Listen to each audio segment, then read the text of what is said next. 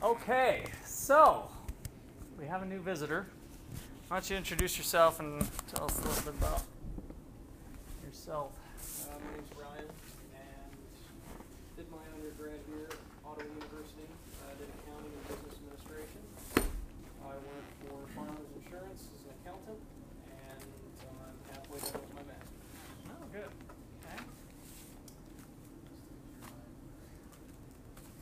You guys all seen Ryan before? You guys pretty much all making the rounds with each other? So it's Yeah. mo- mostly an introduction to me, but okay. Um, so I want to start off today with hearing what you learned or didn't learn or need more information on. So I saw you guys got through some way somehow uh, through the homework. So did you have questions on some of it? Some things that didn't quite work for you? You didn't quite get it? You didn't get it at all? Uh, you guys hear me okay in Overland Park? Yeah, we can hear you okay. We couldn't hear what the other student was saying. Okay. Uh, yeah, he didn't say much, but yes, well, I'll take that under advisement. If somebody asks me a question, I'll try to reiterate it. That's what we were trying to do with that other speaker, but uh, we'll keep working on the speaker thing. We'll see how we do. But I think it's on. What am I on? Am I on this thing? Yeah, I'm on this laptop for uh, microphone. Okay. Um, so, did you guys have any questions from the homework? The quizzes. I have a clarification. Okay. Um, When making a decision, we shouldn't take into factor sunk costs, fixed costs, nor overhead, correct? Uh, we're going to talk a little bit more about that today. So the question was, do we ignore sunk costs, fixed costs, and overhead? It depends. Sunk cost, always. So we're going to go over a, a kind of a, they call it a cost taxonomy, just kind of a, a delineation of costs, uh, similar to what we did about did last time, um, into avoidable and unavoidable costs. The main thing with sunk costs is that you will never recover it. It's money spent and it's gone. Fixed costs were different. How were fixed costs different? Fixed costs were different than sunk costs. There's just a subtle difference. It's not easy to catch, honestly. Fixed costs eventually can be reduced. Good, good. So, uh, in terms of a stock flow concept, which is even more challenging perhaps, what is the difference between those two? What makes a fixed cost fixed? You, you said it pretty good there, by the way, but is it a flow variable or a stock variable? Does it have meaning over a period of time or at a point in time?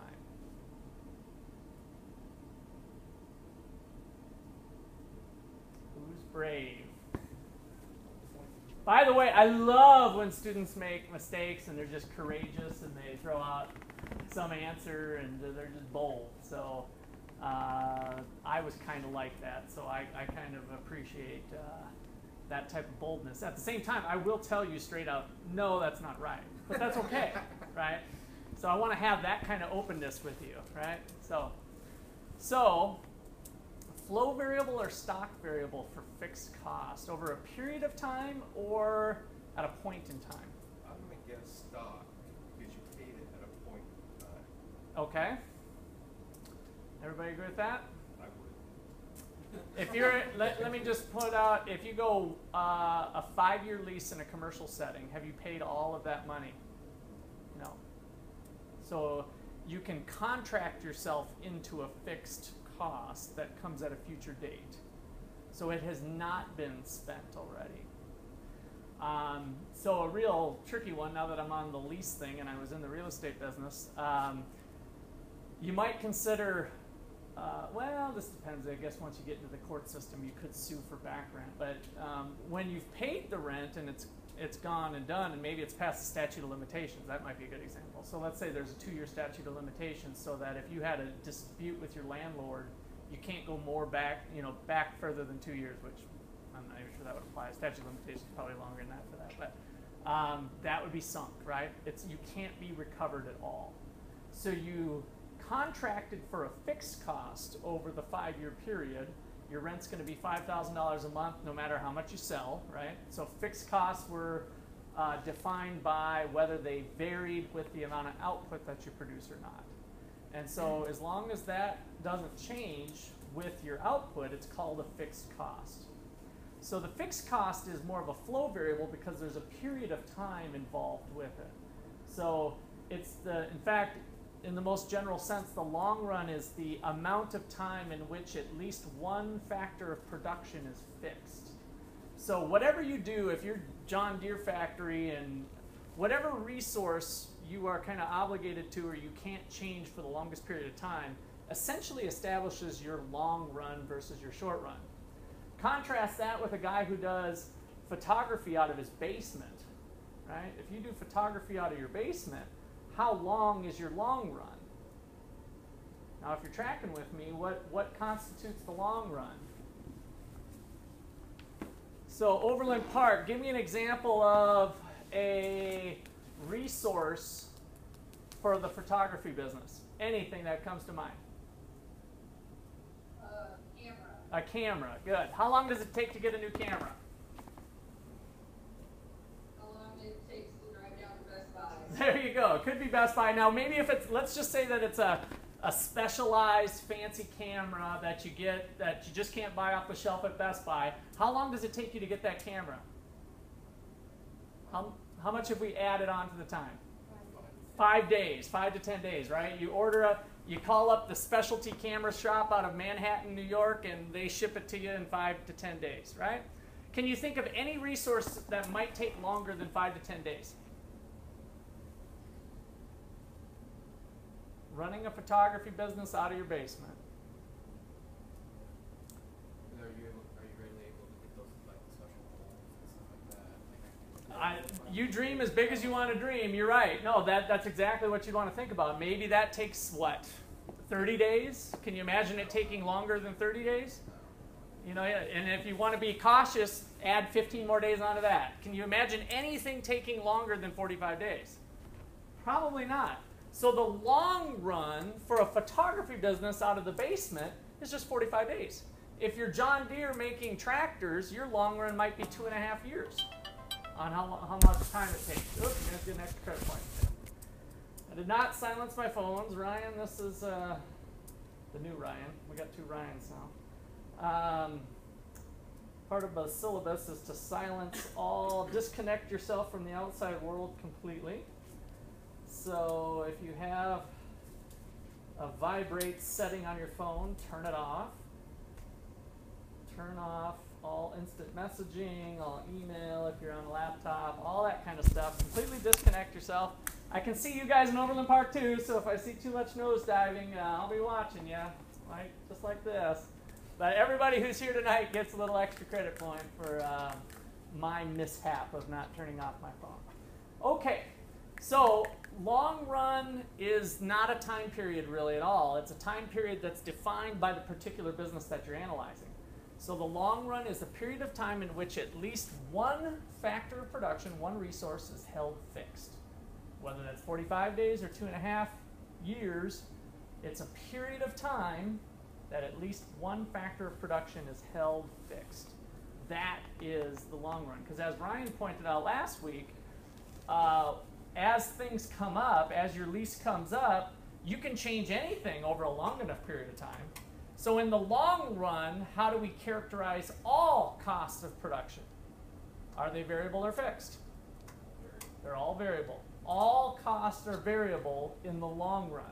We can change anything we want if we give ourselves a far enough time horizon. Let that lease run out, you know, whatever the case is. All costs are variable in the long run. Okay, now, contrasting that with uh, sunk costs, though. Sunk costs, again, are money that's paid, not obligated to, but it's gone. It, it cannot be recovered. And so those types of costs should not be factored into marginal cost, which is part of the heart of tonight's uh, lecture as well. So, all right. Other questions?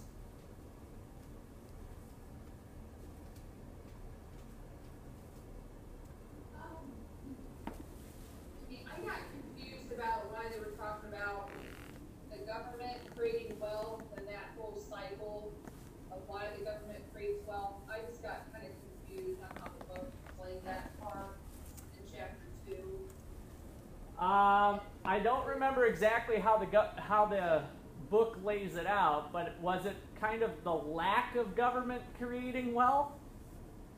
Well, I didn't understand how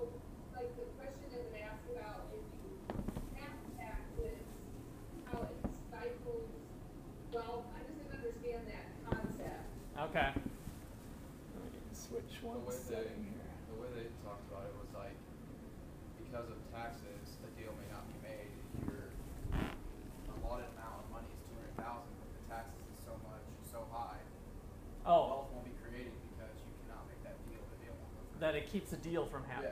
And yes. then another way they talk about that, uh, stop was uh, subsidy. So- Okay. So um, Justin, right?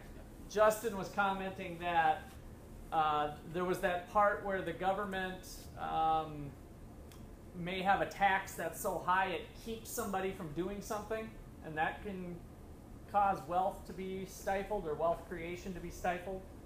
But were you speaking more about whether the government creates wealth at all, or can you expand on that at all, Jesse? Or Yeah, no, they had that one question of, oh, do you remember where this was? They had this question where, um, I didn't understand it, but it was, if you are taxing, it's like giving a subsidy to certain groups. Oh, the ones that couldn't, the ones that probably didn't get in, Yeah, right?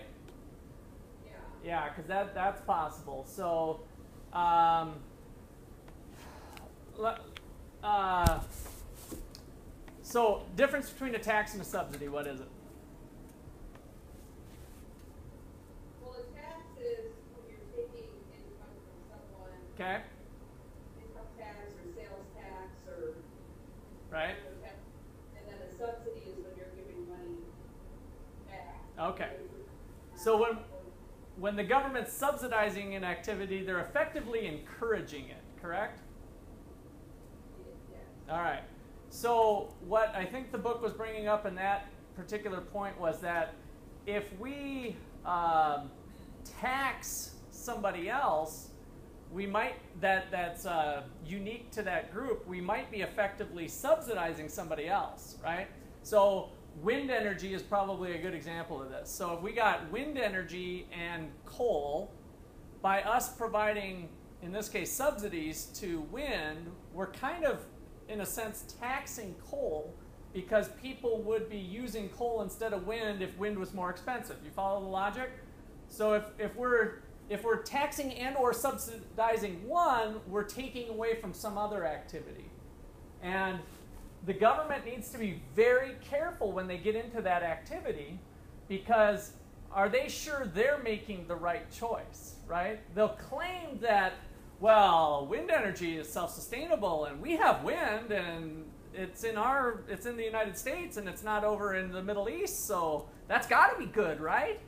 I mean, they'll make these arguments that may not be completely well thought out and may have unintended consequences that come back later, too.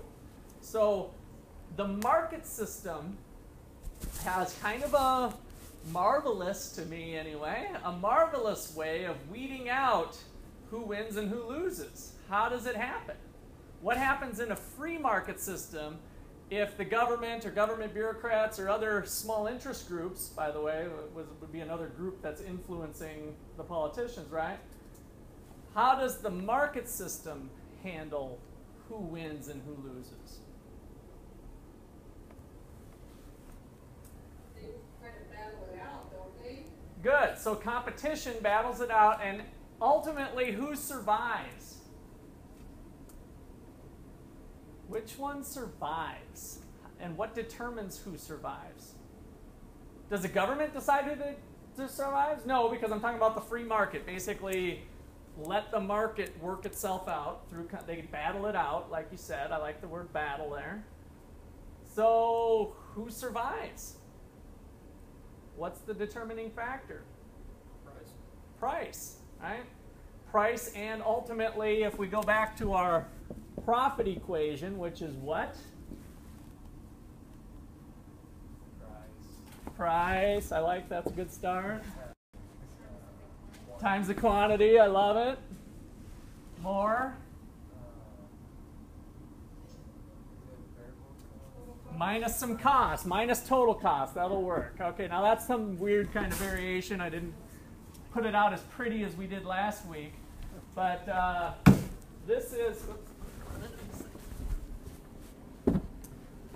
total revenue minus total cost. There's your price factor. The reason that jumped out at me, because you're right, price will be um, sorted out.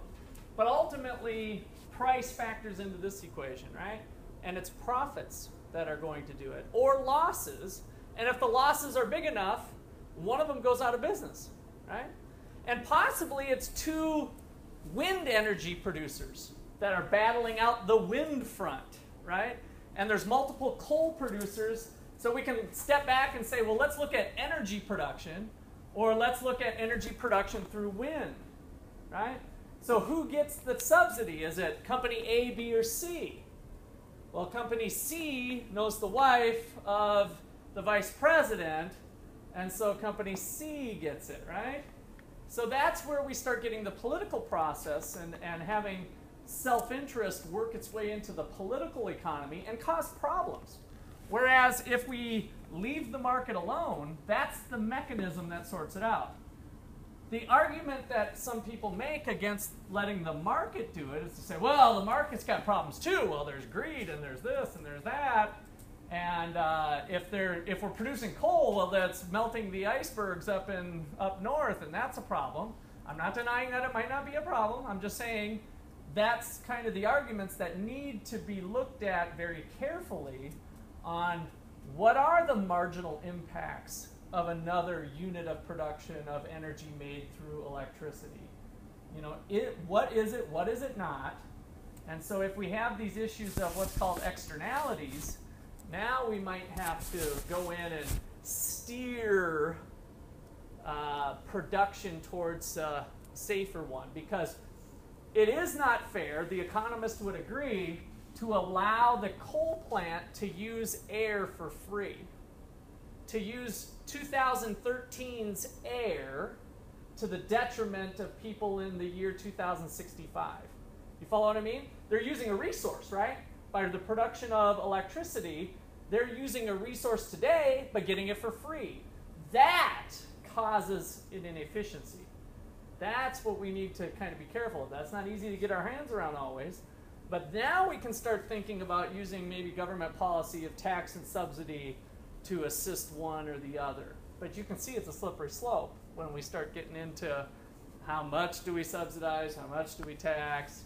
Are we better off at the end of the day just kind of letting the free market take over, or do we run the risk of having the politicians come in and screwing it more up than the market would have screwed it up anyway?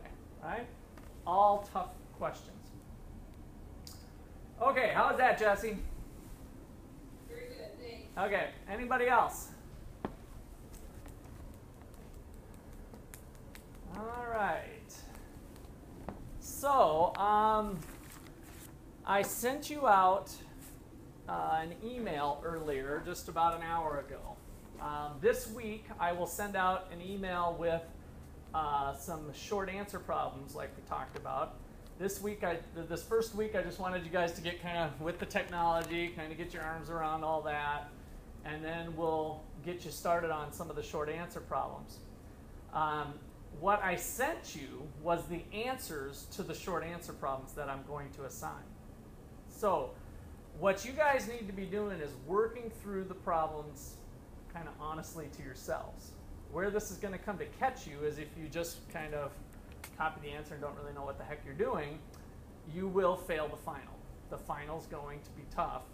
Questions on the final will be similar to this in logic to some of the questions you'll get on some of the questions anyway will be similar to the to this type of content. And so you need to really work through it on your own. I learned the best this way is, is the way in graduate school and other at other times. So I've always been a big believer in in homework problems having you have the answers so that you can spend your time, work, look at the answers. Well, why did they get that answer? Kind of go back and forth because uh, some of these are are challenging, and so you'll have the opportunity to see where the answers are and kind of work through it in your own brain on uh, getting the right answer. So. Um, What you should not be doing is just perfectly cutting and pasting the answer. I sent it to you in a PDF. And so you'll be submitting this to Blackboard. And so you won't get full credit. By the way, you'll get some credit. So, I mean, I'm not even going to dock. If you've got something going on in your life and somebody went to the emergency room and mom and dad died and, and whatever else, if you need to cut and paste that answer, cut and paste the answer. Learn it later. You're going to have to learn it eventually if you want to do all right on the final. But you can, uh, you know, do what you need to to get through that homework and that due date. Um, it's more important to get it turned in timely and try to stay on top of this rather than to let them just accumulate. Okay? Any other questions? Comments? Uh, You brought it up, uh, the final, will that be a in-class closed notes type of? Uh, I haven't decided yet completely, so I will hold you in suspense. But yes, right now, in, uh, plan on an in-class final. But I can't say I've decided completely. We'll see. Anything else? All right. Oh, wow, look at this little guy made it right up to my. Sorry, those of you who are pacifists. Gosh, I can't believe you made it all the way up to my table.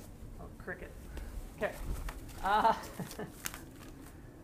so let's see. Um, let's work through some of. Uh, I, I've got some powerpoints um, prepared for tonight, and we're going to start by actually looking through uh, some of chapter three again. And I, I'm anticipating moving through this a little bit quicker. I will send these out after each night so that you guys have copies of these as well. Um, we're going to start off. Can you guys see the big screen now okay?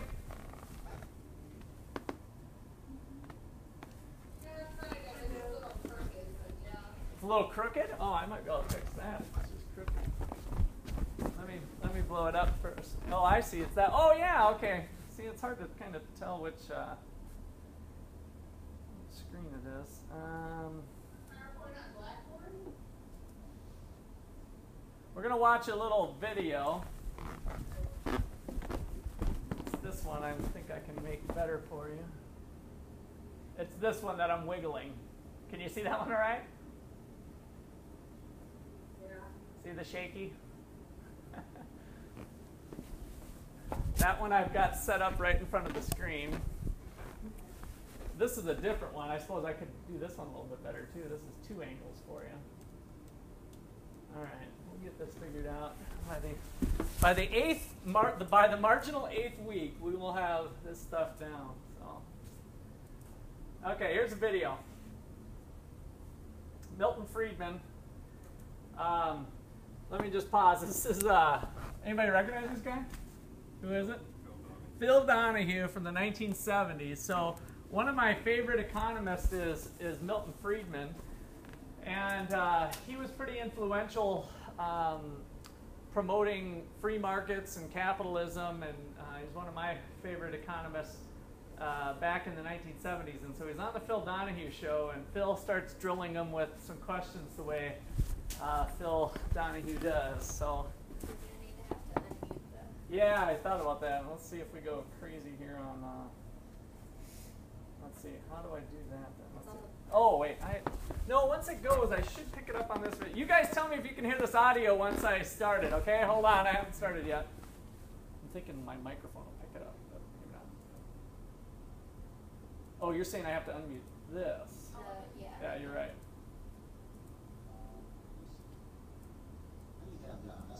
Okay.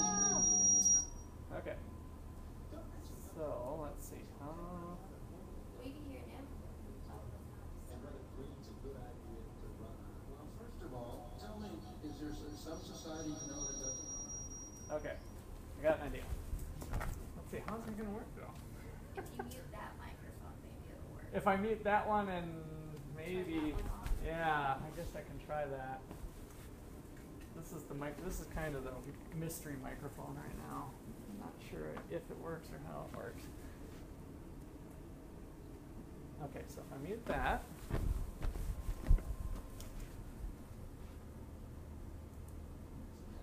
Didn't revolutionize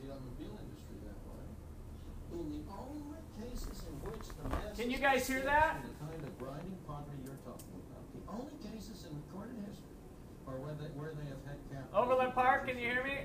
Do If you wanna know where the if masses are worse, worse off, Can worse you guys off, hear me? Is this thing working? in the kinds of societies that depart from that. So that the record of history is absolutely crystal clear, that there is no They seem to be. alternative way She seems to be watching so far discovered of improving the law of the ordinary If they can hear it, I don't know how. Can you guys hear that? Us against city? Yeah. No, no. Okay, I thought you. I thought you probably couldn't. Um, let me try. We try. have a link to it, we can watch it. Yeah, why don't if you guys got the link, why don't you go ahead and watch it separately? Although I'd be tempted to try one more technique, but um, yeah, let's just if you let's roll with that. Well, let me. You know what? Let me. No, we can watch it, we'll get back with you in a minute. All right. How did you get the link? Did you just pull it off? No, it's in our book, it's in the front chapter of our book. Oh, okay. All right, we'll do it that way. Yeah. Experiment maybe on the break.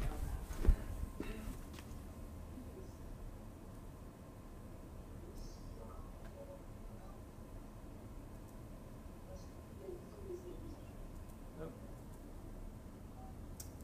No, I'm not doing too good here, am I? When you, s- when you see the greed and the concentration of power of the, All right.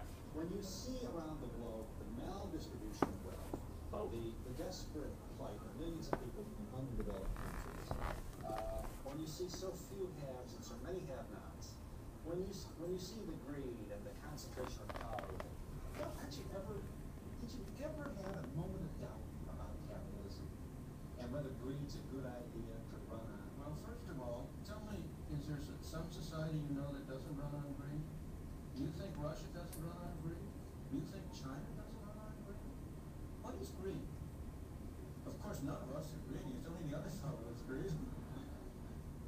This, the world runs on individuals pursuing their separate.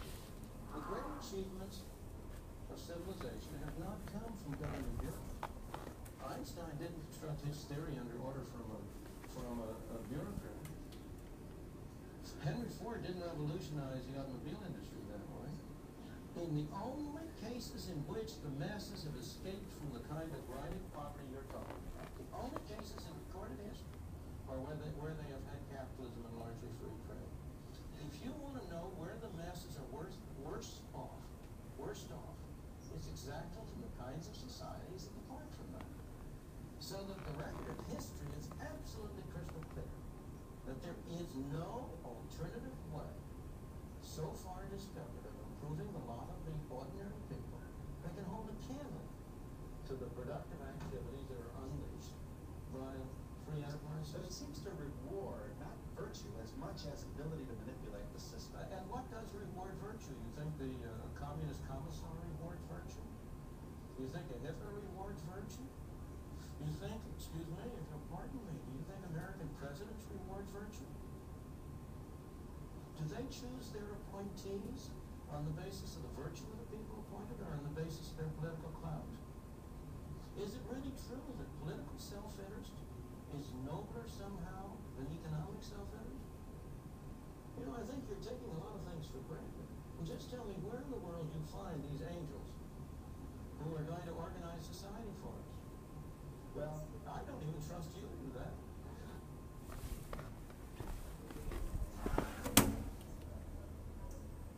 All right. So that is Milton Friedman. So we can still hear them. How can we do that?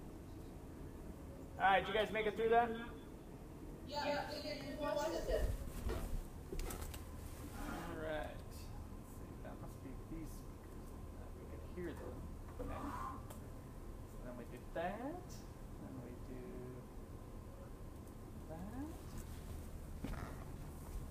that. Okay. Um, you guys, do I got this thing on? You can hear me? Yes. Okay. Tried to add on. Can you hear me now? Play with that later. All right. So this problem.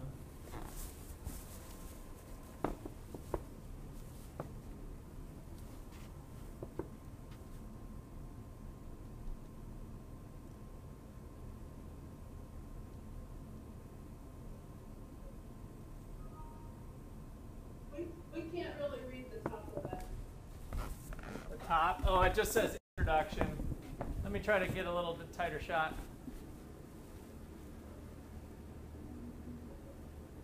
Armadillos, is that what it says? Armadillos Yeah. Yeah, it's Armadillo Appliances.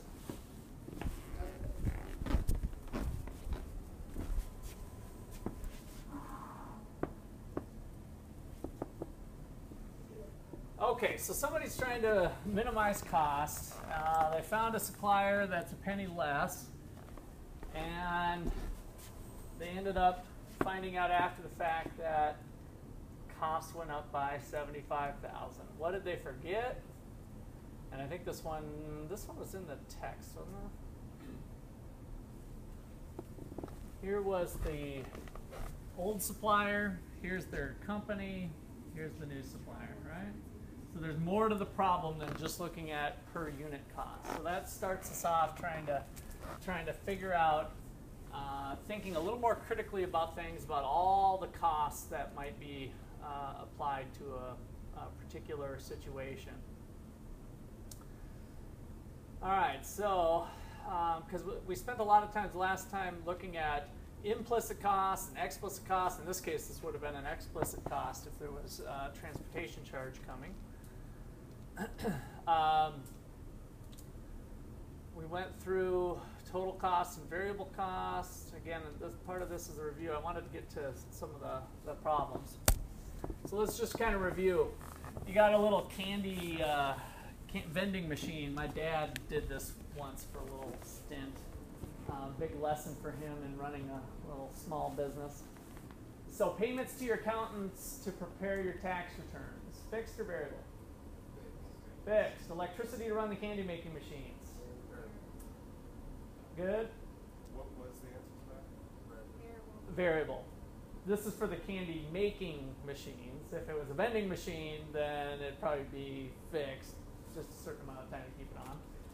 Fees to design the packaging of your candy bar, fixed, right? For advertising, fixed, and cost of material for packaging, variable. All right, so we immediately start thinking about um, costs that vary with production, costs that don't. And if you think about this to some of your previous accounting classes, that already is something a little bit different, right? Because, uh, well, Ryan, you were the accounting major. I mean, you kind of you don't always think about it that way. The the economic way of thinking about it is a little bit different. We're just immediately uh, associating stuff with decision making. Okay, so give this a read. Can you guys read that? It seems a little light. Like I could almost make it darker. It's not a laptop screen though, so I don't know how I did that. Can you guys see that?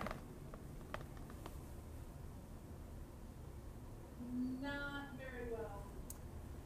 Is it the top part that you're having problems with? Uh, yeah, bullets one and two is difficult to read. Okay. Uh, But this is equal in our book, right? Yeah, this one is, yeah. But there'll be some that we're not.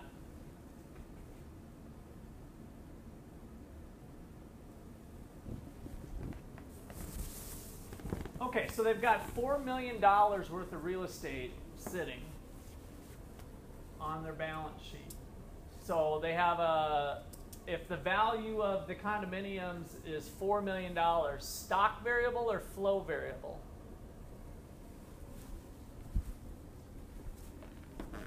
Stock, good.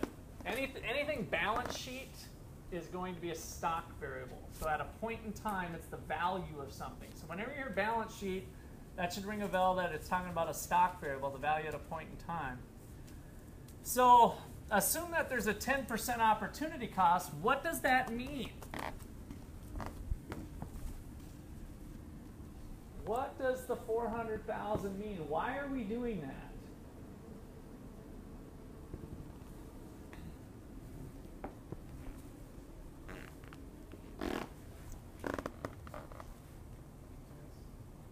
Interest. For what? Are they earning interest? No, they're from the creditors. They charging them interest. Okay, are they charging it? Are they being charged interest from the creditors for that? No, they're not. The opportunity cost is what they could be using that four million dollars. What they could be doing, yes. And so this is something that has gotten attention from a lot of CEOs the last 20 years, very much thinking about opportunity costs.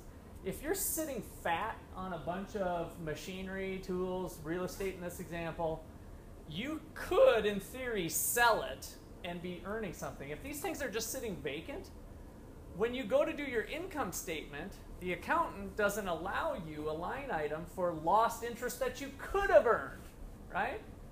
But it's very significant. So it's not hard for a decision making a decision maker in a company to maybe be deceived a bit by sitting fat on a bunch of assets that are not being productive and then they're still earning a profit. So let's just say they were earning a positive profit while letting these apartments go to waste. They could have been doing a lot better. Their shareholders would like to see them doing something with that $4 million worth of assets, right? So, this uh, EVA calculation is something that's gained popularity. So, the economic value added takes into account those implicit costs off the balance sheet. And um, like, what's at what's at the decision maker's discretion is how much they put on the 10%. Should that be 10%? Should that be 15%? Should that be 8%? Should that be 4%? Should that be 3%? I don't have an answer for you. That's what their decision is of the company. Now, they might hire a consultant to determine what that was, what that is, but that's really um, the decision maker's choice, and that is going to have an impact on uh, profits ultimately on what they deem that opportunity cost to be. Okay, so here's an example.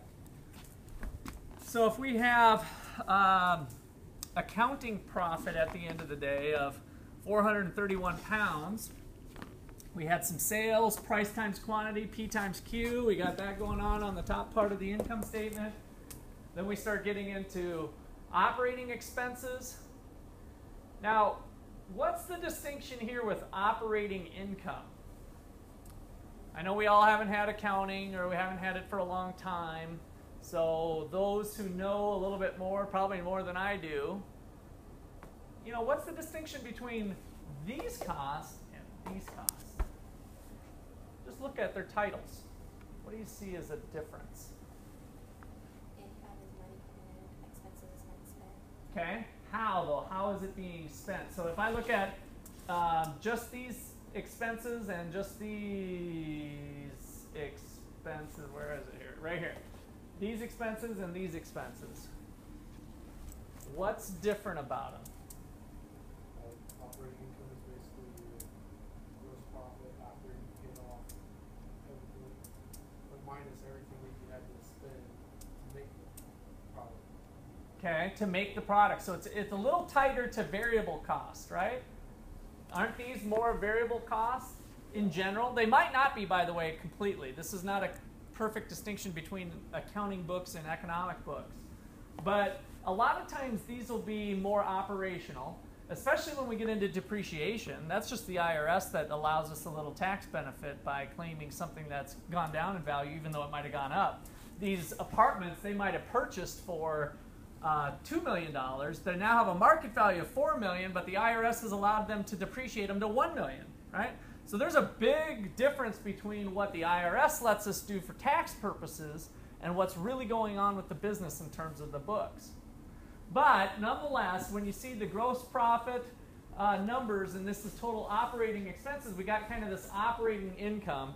The thought is, is if somebody came in and paid cash for the business, they could probably step into the business, and that's what they would expect to make, right? In theory, kind of just operating income, operating expenses.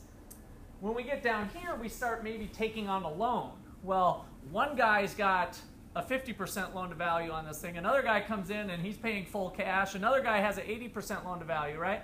the amount of money, whether you bring it in fully leveraged or whether it's your own cash, that's going to change the answer down here. So this stuff above the line deals more with operations, and a lot of times will be tied more closely with variable cost, although stuff like rent could be in there too, by the way. So um, this is more of the operating business. This is more financing. So other income, uh, let's see, they don't even have another income thing, but there might have been some weird income that you got in that particular year. It's not really related to you doing business, but you sold some, some capital asset or something else, or you had some little side job that's not normal. Okay, questions or comments on that?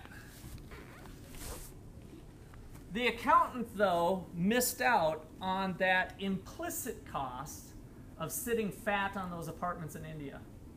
So if our opportunity cost was 12%, then we would have had an implicit cost on the 4 million of 480 I got million, but that's 480,000, I think. But anyway, let's see, this was in millions, but um, this number should have been a negative number if we took into account the implicit costs, right? So economic profit are always less than accounting profits is what we went through uh, in that, those first couple chapters last week. Questions or comments on that? So the implicit costs are like just costs that you just allow Uh, yes. Anything that um,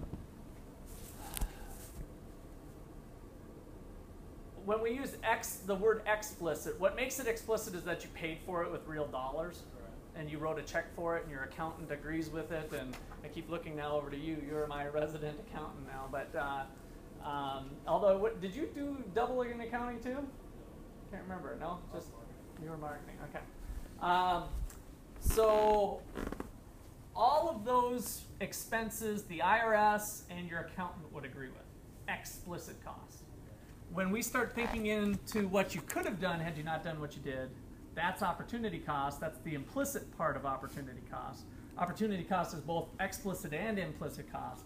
But now we're getting into a little bit more of an art form, and it kind of depends on the situation. So that's what I called economic art. Okay, so really it's not really negative, it's just the, the basically double. Well, you you tell me. So Skylar said, uh, let me go to Denise and Jesse. So Skylar said, it's not really negative. It's just that you could have made more than this. So can you guys see this number okay? Not that we're getting into that type of detail, but can you see anything on that spreadsheet? At four thirty-one, Yeah. So that was our accounting profit. And what was missing from that was that opportunity cost of 12% had an implicit cost of 480, which if we were to factor that in would make this approximately a negative 50. And so what Skylar commented was, well, it's not really a negative 50. What do you think?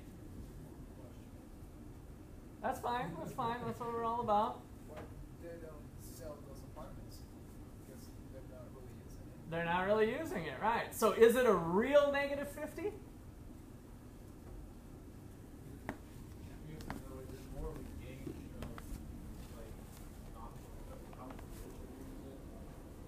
it. You definitely. So what's real and what's not? Is this real? Did we really make 431?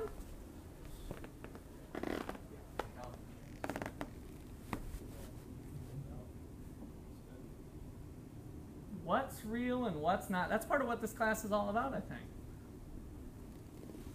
Does it make it real because the Internal Revenue Service accepts that as a profit? Is that why it's real for you?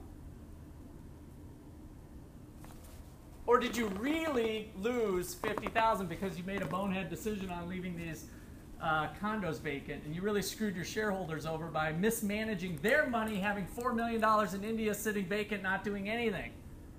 What's real? I would argue they lost 50 million. Right?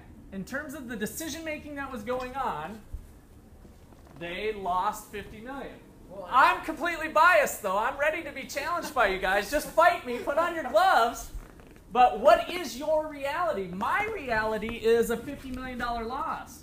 Your reality, if you're an accountant or if you're an IRS agent, might be that you made 431 and you owe me taxes of 20% times 431, right? Which makes your decision all the more bonehead probably of not, not selling it, but that's a different issue because now you're going to have a cash flow problem going into the next time period when you have to pay taxes on this that you didn't take into account, right? And you really didn't have the money for. All right, so yes, I'm ready to be I'm ready to be challenged, but what is your reality? I want you guys to be pushing and thinking when you get into your next position. I want you to be thinking kind of the economic way. That's part of what this class is all about, to be thinking about the things that the accountant doesn't think about. That's what a good manager does. That's what a good boss does. That's what a good owner does. These are the people making decisions on a day in and day out basis, and you have to sometimes weed through the numbers that might be perfectly sound numbers, but to make a good decision, you have to read more into it. And that's what we're doing with this class, is trying to read more into it. Why, why would they overlook a school in Why would they what? Overlook, like, why would they ignore that they could make full You know, it, honestly, this, this is a very, in fact, this, this author, this is one of the reasons I chose this material, uh, picks out real world situations. So this really happened. This, this was a real case study. And uh, it would not be hard for people to do that. I mean, even in a, a number of the businesses that I operated in, you just, you don't always think about that. It gets kind of like, oh, we got to look at the numbers, we got to look at this.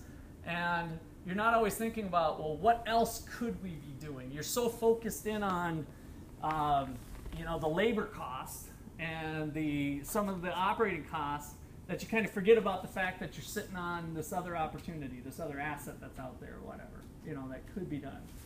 And so, if you're the young person on the corporate ladder, and at the meeting you say, "Well, you know, we've got those condos." Uh, nobody's using them. I, I called the the property manager over there in India. I know nobody really talks to them, but I found out they're sitting completely vacant. You know, if we sold those, that would uh, kind of help the bottom line next year. How do you look to the bosses and the VPs and the president all of a sudden, right? You're just jumping. You're reading more into the numbers. You're not focused in on what what's there, but what's not there. Focus in on what's not there to really think critically about the issues. What, what did they, they originally bought them for?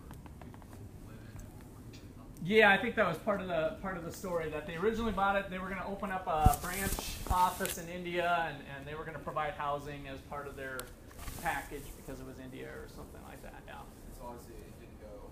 didn't go, didn't fly, and Yeah. Well, they were, and they offered low interest rate loans Right. so, yeah. Yeah. So not hard for some of that to possibly, you know, this is just one example, but um, not hard for some of those details to fall through the cracks. The, the main point is, is that without a system like EVA in place in your company, and, and, and by the way, there are there are systems now in place that would catch that. If that's not there, you might look at this and say, "Oh, well, we're doing pretty good," and you know, overlook that that balance sheet item. Okay. Um. Oh, let's see. Let's. Well, we could probably look at this one since we're having so much fun. Okay. So, give this a read here. So, we're thinking about outsourcing a washing machine. So that this uh, annual unit volume is a million. Depreciation refers to straight line depreciation of a million. Initial tooling costs equal to 100,000 per year, 10 years. None of this really matters too much then here. So material, internal production, material, labor, depreciation, overhead. So what do we got for cost? Dollar. Outsourcing it to some company overseas, maybe in India, who knows? Material, labor, tooling, 70 cents. Deal done. Let's do it. Let's ship ship this thing overseas and not have to mess with it. But is that the case? What if you have to factor in getting it back to? Could be. Yeah, there might be. There could be some um, transportation like that. Yep, that would be a possibility. You have bad faith, like if you pull out of a United States, um, city, Okay. Be more on the, which would be more on the revenue side, right? What about these costs? This is what the accountant came up with. Hint, hint. This is what the accountant came up with. Okay. So there might be a little bit of uh, cost associated with transitioning over. Okay. What else? So this is if we do it ourselves. This is if we outsource it. No longer run out depreciation. Can't spread out. Well, okay, now you're touching on it. We got spreading out overhead. Are we going to have overhead anyway? Yeah. Yeah. So should we should that enter into our decision here on cost? If we're going to have that overhead anyway, if that's a salaried person, no, that one just gets deleted, right? So that one should not be in there. Depreciation.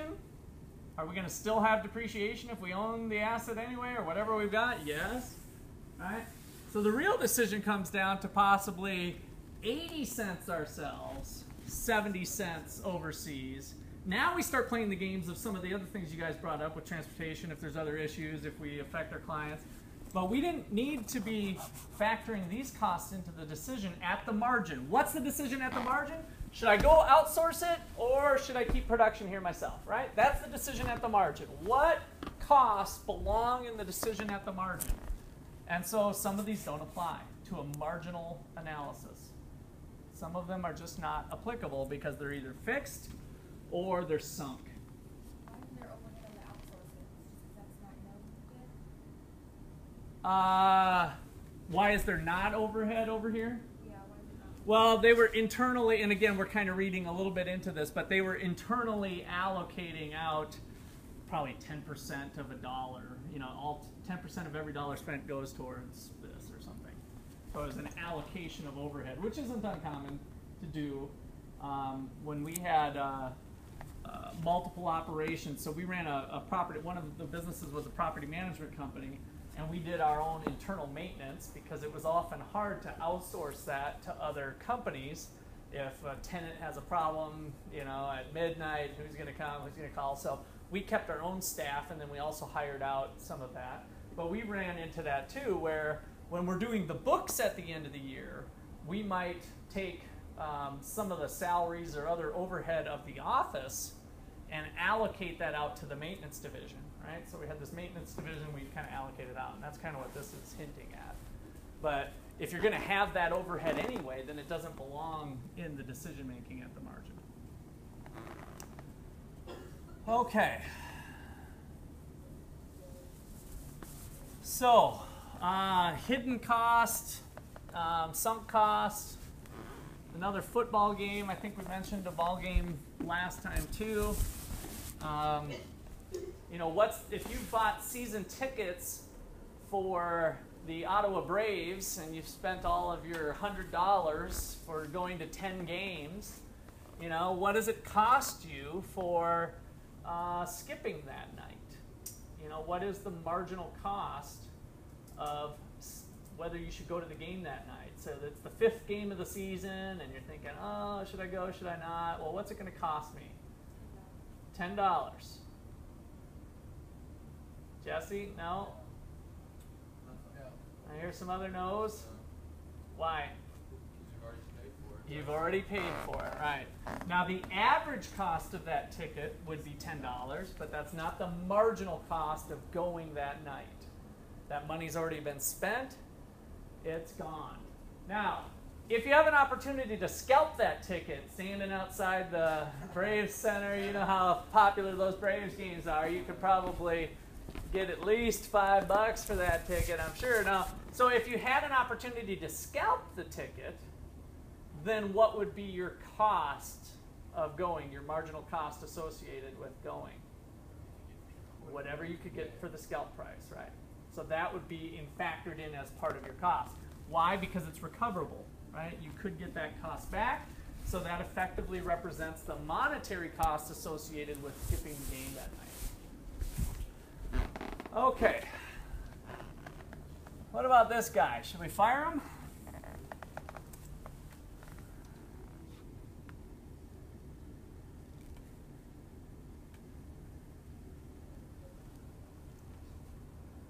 Jesse, can you read that all right?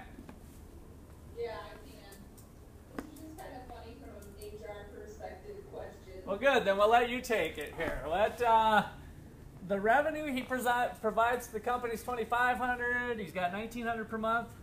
In wages, his office could be rented for eight hundred. So, on a purely numbers basis, should he be fired? If it's just numbers, then you're gonna make, or you're gonna save more. So by he firing nets him. That's what he hundred said. dollars, right, from him? Um, on the 19, yes, because 1900 per month on this explicit cost of his wages and $2,500 is what he brings in. So yeah, 600 is what they get there, Yeah, but if you let him go, then we get eight hundred a month. right? Yeah, I think we should let him go. So can him, he's out of here, right? So again, implicit cost, implicit cost, that changes the decision. Most of the time, you might not be thinking about this. Again, you might be at that meeting with your bosses and you're like, this doesn't even come up. And you say, well, you know, we could maybe rent his apartment or his uh, office suite for 800 Oh, well, I hadn't thought about that. Gustavo, that's great. You're promoted. I'll give you a $5,000 raise here, too, by the way, while we're at it. All right? So that's the type of thing, that's the type of thing we're looking for. Okay.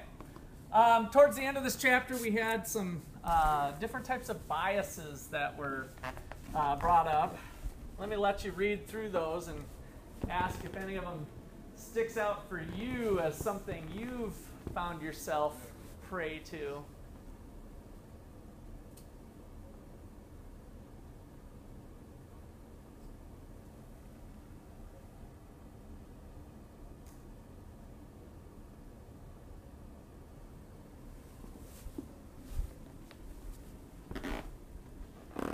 Let's see, Denise.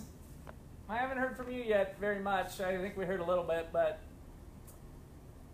any of these bi- any of these biases uh, strike a chord with you? Yeah, I hate to say it, but that confirmation bias looks awfully familiar. Ah, yeah, confirmation bias. That's a good one. So you find out what confirms what you believe, and then you stop, right? You don't want to. Well, as long as I got a little bit of evidence, I must be right, right? So that's a that's a good one. Who else? Which other ones stick out for you? Me too. That's that's probably the one I was gonna jump on. Uh, little tendency to place too much confidence in the accuracy. So I would build these spreadsheets when I was starting to figure out a business, and you know, oh well, we can do this and we can do this, and if it all works out this way, we make this much money. And that was probably a little too confident in those numbers in, in some cases. I did make money in some other cases, but uh, I'd say in general I'd fall prey to, to that. Um, this endowment effect, I got one little interesting one to tell you about. Um, I think we'll see it few times in the text mentioned, but there's an area of economics called experiential economics where you do experiments. And so we test economic theory. A lot of it, in general, is called behavioral economics, where we look at people's behavior. And one of the experiments was the uh, professor had people come into class, and um, everybody had a mug on their desk. And so the uh, professor said, I got a sheet of paper in front of you. I'd like you to put a value of the mug. And so people looked at the mug and said, Oh, that's pretty nice. And I suppose a couple bucks. So they, they would write down their answers. Then in a separate test, they came in, the students came in and said, Hey, the professor said, I got good news for you. The university's giving you all a mug. So these mugs that are in front of you are yours. And uh, what I'd like to do is just ask you, what do you think it's worth? And now all of a sudden, oh, well, it's probably four or five dollar mug, right? As soon as people thought that they owned it, they started to place a higher value on it. That's what the endowment effect is. So you've maybe seen this with people's houses. I saw it all the time, the endowment effect, when I sold real estate. Well, what's your house worth? Well, geez, I think it's probably worth 160,000, you know, where you'd be lucky to get 140 out of it. So if they own it, all of a sudden it has more meaning to them, and they tend to be deceived about the, what the true value is because of this ownership effect. Okay, any other questions or comments there?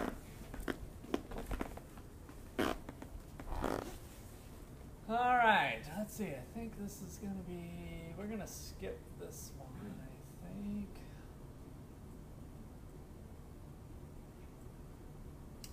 All right.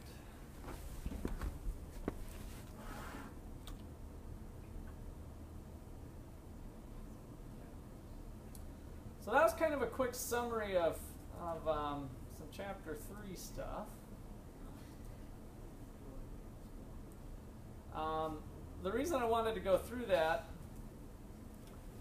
was it ties in nicely to decisions at the margin, which is what uh, which is what we're focusing in on tonight, and so that's why I um, brought things back around to uh, to a marginal analysis again. So um, have a quick flyby of of cost.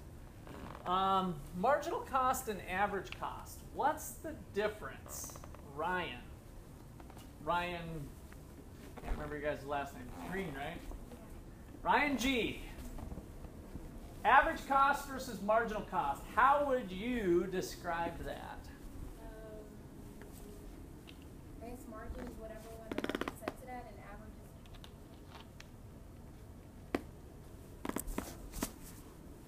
is Hold on, let me hear Ryan. average is maybe what you set it at. Okay, so average is what you set it at, marginal is what the market sets it at. No. Gustavo. Um, I think an average goes trade unit value. I don't know. The what is the average or the marginal? The average. The average. Okay, and what's marginal?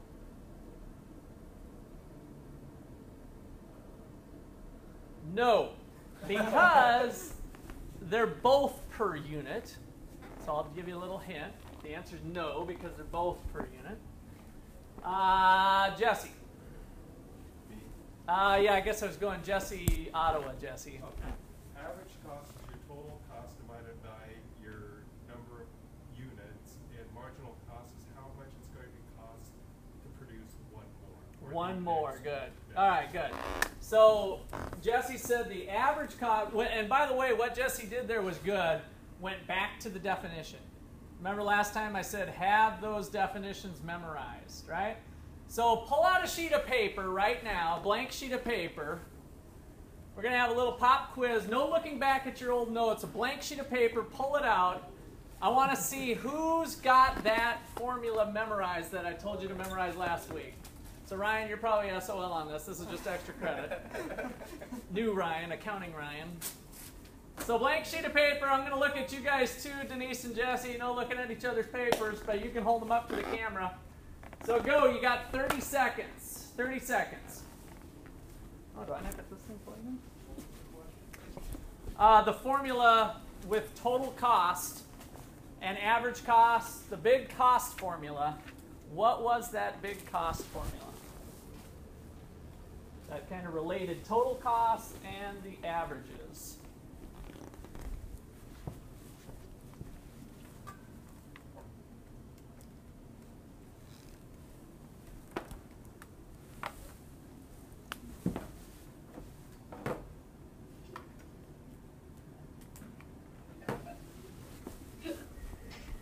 All right, Overland Park, hold them up to the camera as soon as you got them. Oh, oh, I like that. Whose is that? Jesse's? Jesse, the, uh, All right, that's an A. Oh wait, no, it's not. Wait, wait a second. Put that back up there. I think I made up some stuff. it looks so good at first, but no, it's wrong. It's wrong. I know it's totally wrong. Okay, all right, good. Where's I Denise's? should practice some more. All right, where's Denise's? Not yet. You just bowed out? Okay, what do we got? Pass them up, Ottawa people. Let's see them. Oh boy. Looks like we need some more. Skylar's probably hosed on this one too. Okay. Ooh.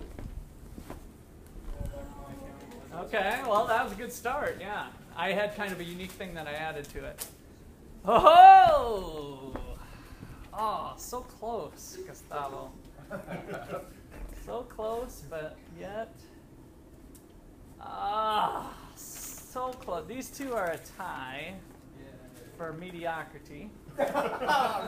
Um, not so good, not so good. All right, so here is the tie for mediocrity. I don't know if you guys can see this. Overland Park, can you see this? Uh, yeah, let me switch it to the main screen. Oh, wait, which one are you on? Here, this one? Yeah, that one. Oh, okay. Oh. So this is this is the tie for mediocrity. None of these are really good. So next week we're going to probably do the same quiz. Okay. This is another one that's probably the best. So that looks kind of like mine. Yeah, Gustavo. uh, Actually, all you did was screw up one. You were dyslexic on the first, the very first term. You put TAC, which I could almost accept as total average cost, but ATC. But yeah, you, you basically have. I know. Ah, no, you get an extra credit point. I, uh, you're good. I- I'll take it. All right, so here it is. Everybody get ready. Um, so, uh, and Ryan Accountant had had a good start here. He was missing out on part of it. So we broke total cost into two parts. Those that vary with quantity, those that do not vary with quantity. So that's the relationship of total cost.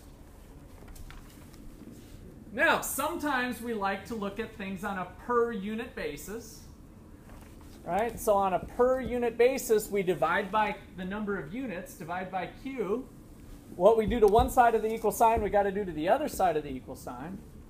The reason we did that is because it gives us an, another nice relationship that we'll use quite a bit, and that is that the average total cost is equal to the sum of average variable cost and average fixed cost. And that's it. I, I got the bottom equation. Yes, you did. You, yours was uh, right up there too. Yes, you were. You were the yellow sheet, right? Oh, that wasn't you. Which one was you? Just that. Oh, you had the bottom part. Okay. Just.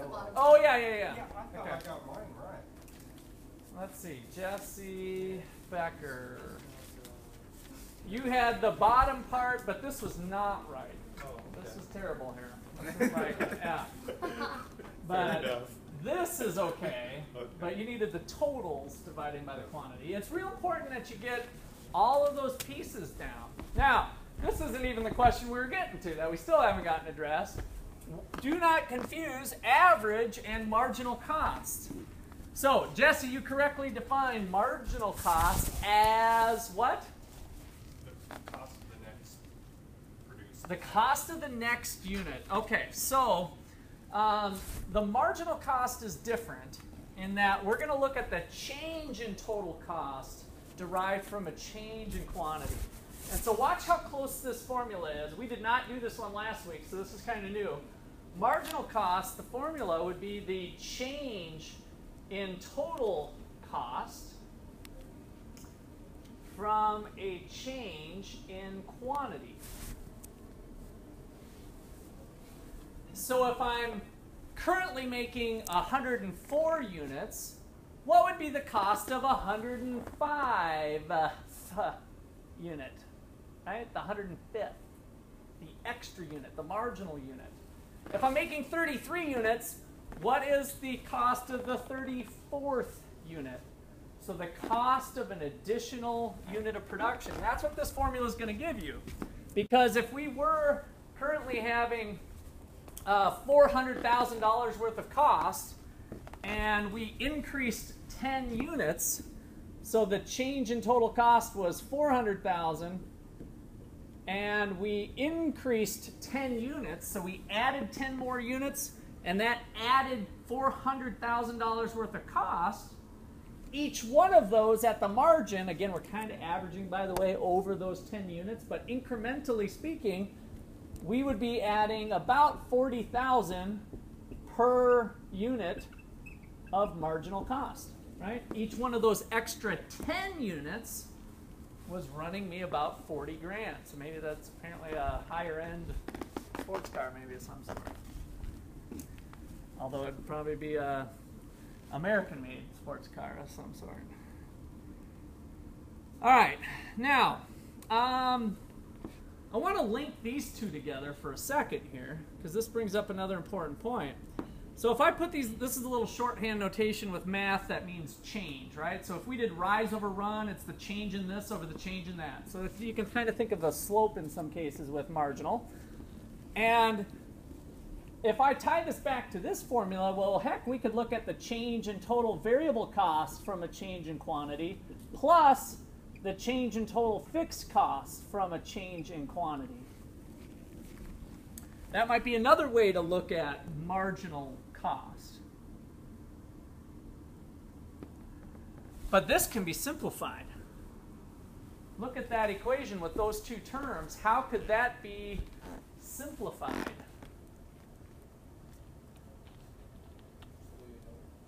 You could do the change of total variable cost plus the change of total fixed cost parentheses times. Okay, no, I love the way you started off and hated the way you ended. Common denominator, you can just add your two numerators. Nope, I'm not looking for that. That's kind of where, That's where I was. yeah, that's where Gabby was going. So, now I want to, I want you to hang on every word I say right now. The change in variable cost from a change in production, the change in fixed cost from a change in production. That help anybody out? The change in fixed oh, cost. Get rid of the fixed cost. The fixed costs don't change, right? So fixed costs don't change by definition, right? So just get rid of that.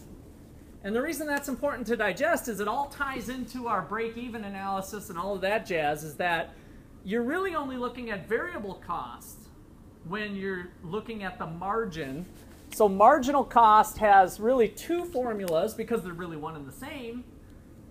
The only reason total costs are changing when I change production is because total variable costs are changing, right? So they're one and the same. So you need to know both of those uh, variations right here of calculating marginal cost. Yes. We can't see the board. Oh, yeah, you probably can't. Let's see. Thank you. I'm sorry. Now I just shifted that one. I suppose you wanted this one shifted, huh? I'm going to try to keep. Have you been looking at this one for the screen, the one I'm pointing my finger to?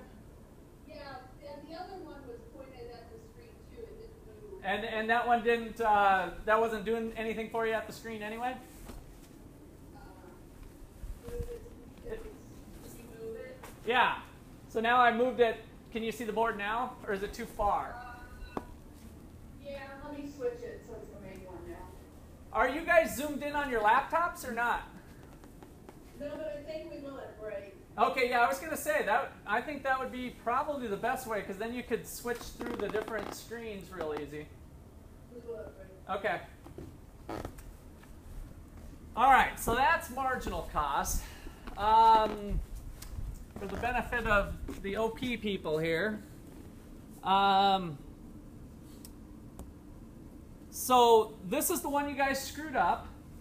You guys recognize this one? Okay, good. And then this is the new one for tonight, marginal cost. And the only difference is these little triangles, the change in total cost over the change in quantity.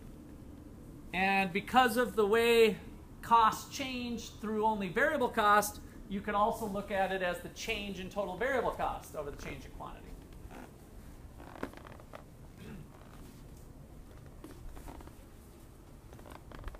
All right. Um, now let's see. It looks like I got a little room on the screen here.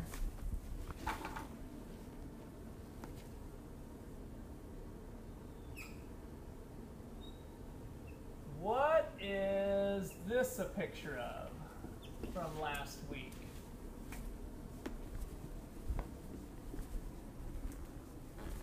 Had those two curved. Now this one you can look back in your notes. Good. Average total cost and average variable cost. Which one's on top? Average total cost. Average total cost, average variable cost. All right, and the vertical distance between each curve? Average fixed cost. Average fixed cost. All right. So remember I had you draw these minimum points? The big fat dots? Now we're going to bring in marginal cost into it. The marginal cost curve is kind of J-shaped at first, and then it cuts through the minimum points of both the averages. So the marginal cost curve looks like that.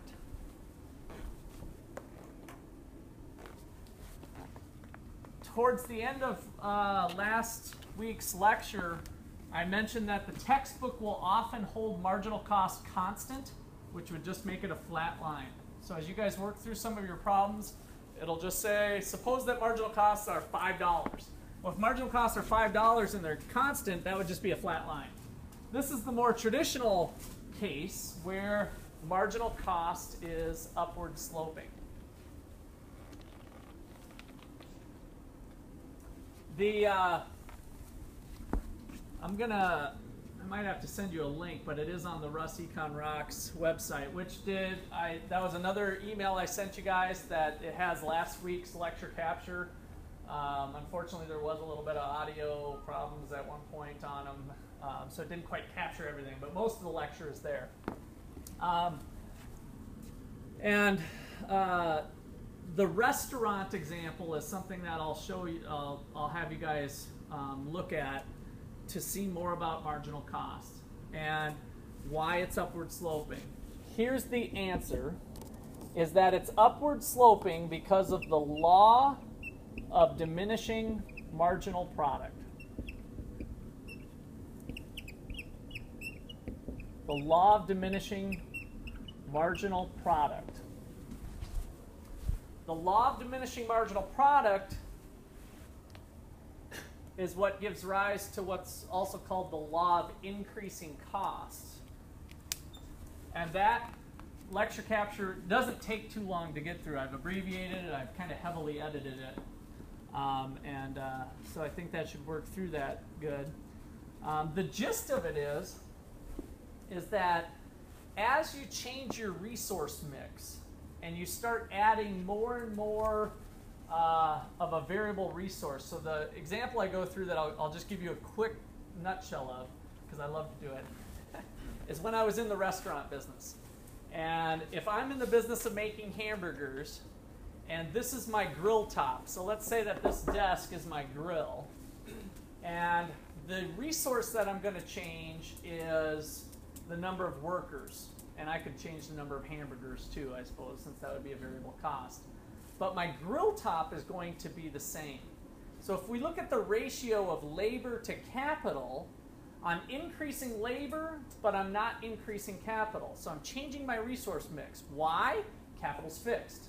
Right? I might be leasing out that capital for a, a year or whatever. The capital's maybe something in the long run, labor's something I can pull the trigger on today. So as I add more and more workers, what happens to the productivity of each additional worker. So if I can make 100 hamburgers myself working all alone, what would happen if I added a second worker on? Would we together produce 200, 220, or 180? And I'm just making up numbers that are plus or minus.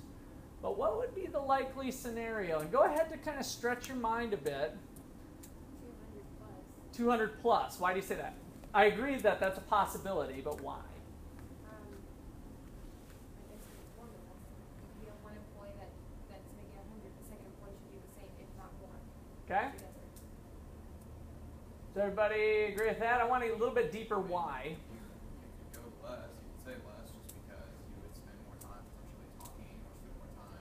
Okay, good. So now you've got diminishing product kicking in. Or not enough equipment to do two people. Okay. Or it could be more. But I want to argue more. Why more? Because I, I agree that Um, at this point, it's possible it could be more. Okay, good. Specialization. So Adam Smith talked about the importance of specialization in the production process. And so what we could do separately is not necessarily the same as what we could do together. So I could patty the hamburgers while you're toasting the buns, right? Through specialization, maybe together we could do more than 200, like 220. But now stick with me. A third worker. Can we do even more with the third worker, the fourth worker, the fifth worker, the sixth worker, the seventh worker, the eighth worker? Are we going to keep experiencing those increasing returns? No, surely it. Go ahead, Jesse.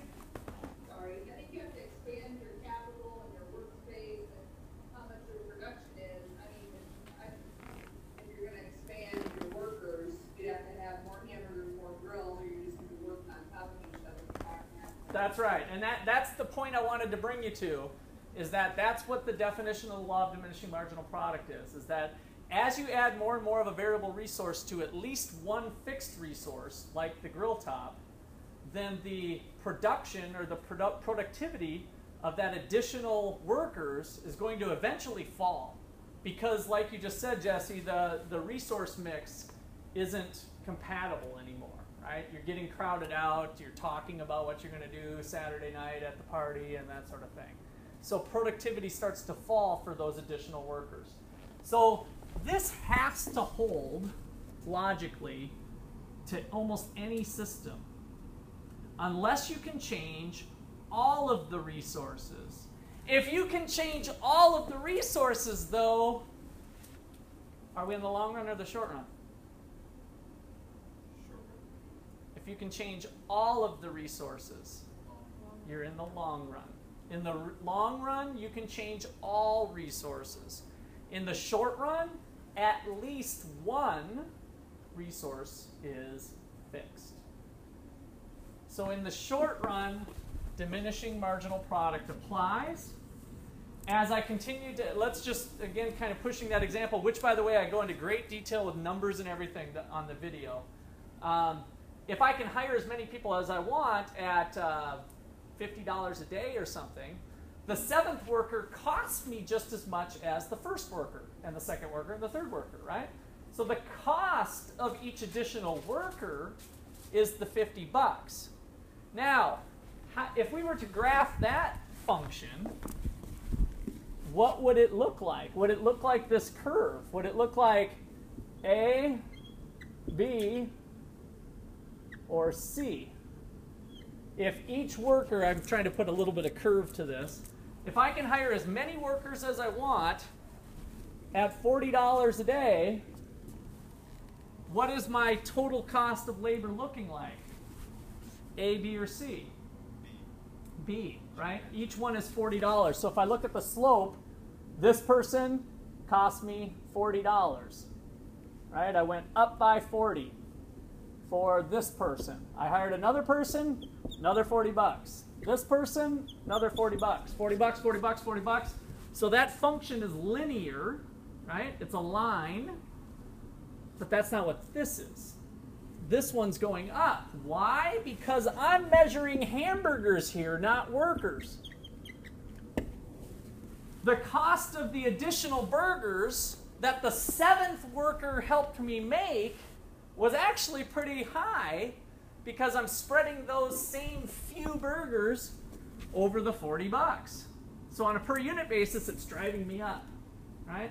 So that's why we'd expect a marginal cost curve that's upward sloping. All right, that's pretty intense. You need to go back through the video and kind of see that. We're going to kind of see that logic play through. Again, many times uh, we'll make a simplifying assumption that costs are constant, just for other reasons that we're tackling the problem. But this is the real deal.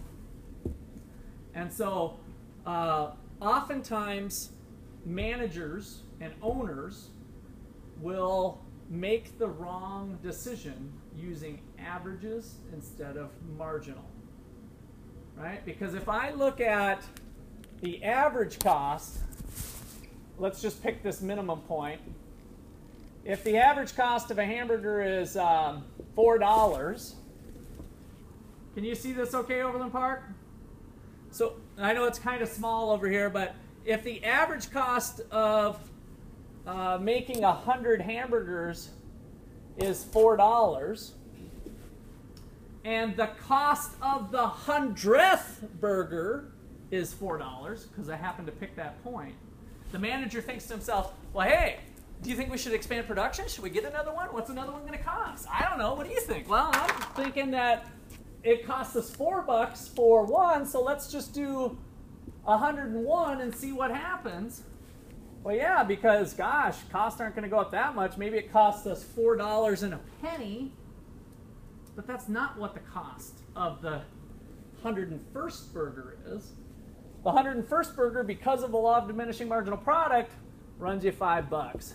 Oops! I guess we shouldn't have produced the 101st burger. That's the difference between analyzing something at the margin and analyzing something on average. Okay, we're going to see that theme kind of repeated uh, through this um, next two chapters, for that matter, if not the whole semester. Uh, is, and hopefully the rest of your life. You start to pick up on that, digest it, live it, love it, learn it. Okay, questions or comments there? All right. So let's see, we covered that, we covered that, additional costs. So again, I'll give you guys these um, PowerPoints here. So average cost is irrelevant to an extent decision. So how much are we going to do? We don't decide how much we're going to do based on the average. We look at the margin. Marginal cost versus marginal benefit.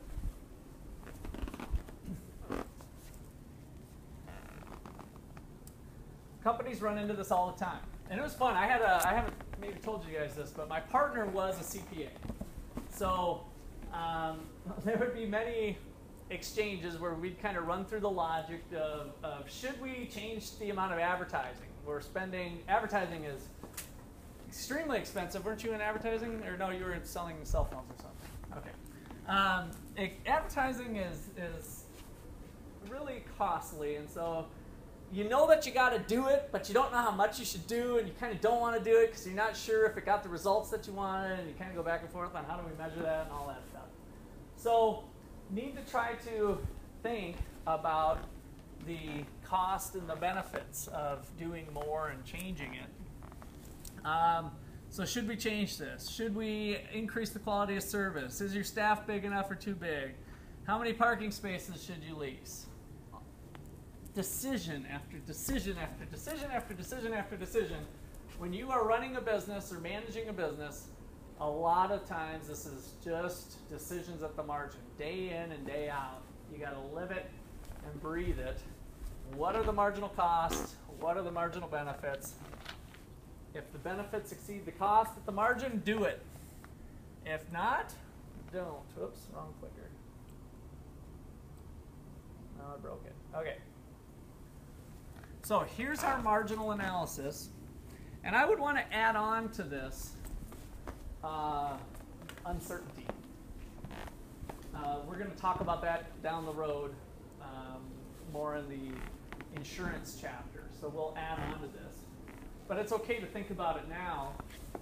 Uh, we don't always know what the benefits of that advertising is going to be, right? We make it a, a prediction. Maybe the salesperson that's trying to sell us the advertising has shown us the average statistics, and I used to beat up on the yellow page people all the time when they come in and try to pitch me to get that. And uh, uh, what are the costs associated with it? You might not know, understand all the costs associated with it, right? So they say, well, you're just going to pay us fifty dollars a day, but they don't tell you that you're going to have to have a staff person to update the Facebook page, you know, uh, every week to stay current with Facebook.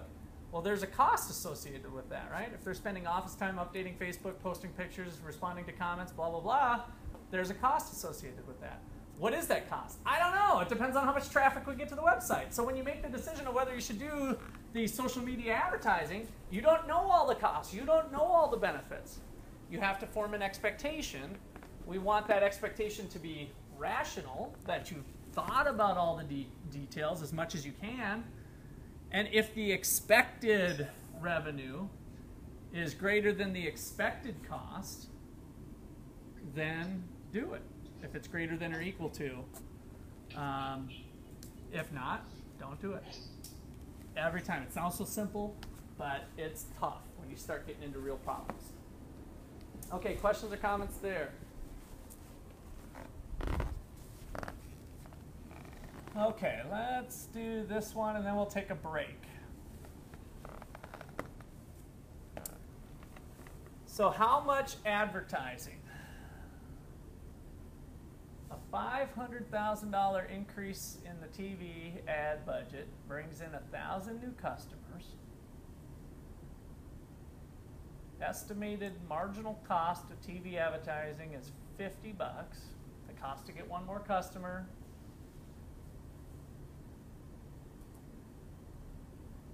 How does revenue fit into the decision?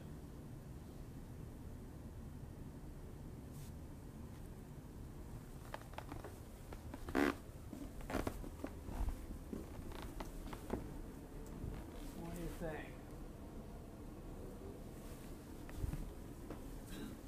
Skylar?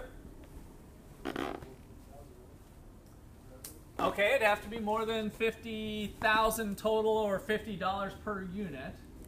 Okay? So if we get, uh, we have to probably go with a gut feeling. Maybe we've looked at some research, some data, maybe ran a regression on sales and advertising, and again, the salesperson is giving you some information and you've gathered other things. But you start thinking to yourself, how many more customers am I going to get? You would be surprised how many small business owners don't think that way, right? Everybody's doing it. Everybody has a yellow page ad. That means I should do it, right? Everybody's got a Facebook ad. That means I should do it, right? Start thinking about how many bodies are actually going to come in. They're going to start charging me this amount per month or this amount per year, whatever it is. Just start doing a little simple math and think, okay, if this is successful, I have this particular ad. This is where it gets a little bit tough, but does this ad, on top of all the other advertising I'm doing, do I really feel like this is going to bring in X amount more people? I sell my product for Y. X times Y is Z. Does Z cover the $50,000 amount? Right? People don't always think that way. So, but it, but it starts to make sense once we look at it and break it down on a per unit basis, what the additional costs are. We didn't put in the cost of our rent, the salaries of our employees. We, you know, we didn't put in that overhead. We just looked at the cost of the ad, started to think backwards to how much more dollars will that maneuver bring into my company. I don't have a crystal ball. You're going to have to go with your gut eventually. But at least you've thoughtfully went through it this way. Because you'd be surprised, sometimes the answer to that might be, and I'm not kidding one bit, this ad would have to generate a thousand more people this week. I normally do 50 people through the door. There's no freaking way I'm to get a thousand people through the door. I mean, there's kind of like, duh, no brainer type decisions that go on like that. Do this calculation, kind of confirm to yourself. Again, there's going to be a gray area. Okay, well, is it maybe that there's enough or whatever? You're not going to be able to perfectly calculate it, but you might be able to rule out the there's no way in heck that I am going to be bringing in enough dollars to justify that expense, right? And that this helps you process that. Okay, does anybody have any examples of uh, decisions that come to mind like this where might have helped in a former business or otherwise, or a current business, or where you saw kind of a bonehead decision maybe made by a, a manager, a husband, a wife, a child? That's what I love about this. This is we're, we're kind of focusing on business, but this stuff applies to households, whether we should have bought that toothpaste or not. Sometimes I'm, I'm a victim of my own thinking. I, every single decision in my life comes down to this thought process. I am like in a prisoner behind bars because I can't, my brain cannot not think this way. So that, that, uh, that sometimes can be sometimes can be a heavy load to carry, but I manage manage to do it. All right. So let's take a break. Looks like a good spot to take about uh, 10 minutes, 10, 15 minutes. Stretch your legs.